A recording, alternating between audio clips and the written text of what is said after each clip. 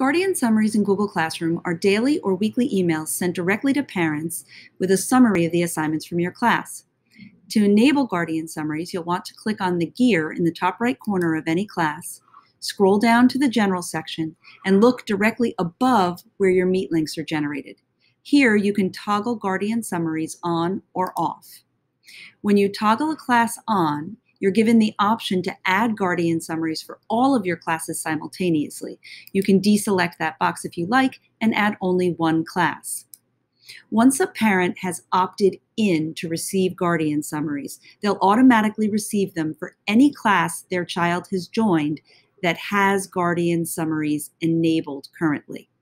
I'm going to come up here and save my settings.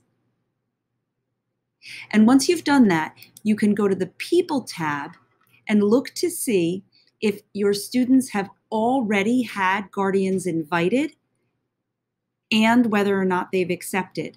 In any case where you see a guardian already listed, they've already accepted, they're already receiving summaries, they'll automatically start receiving them for your class.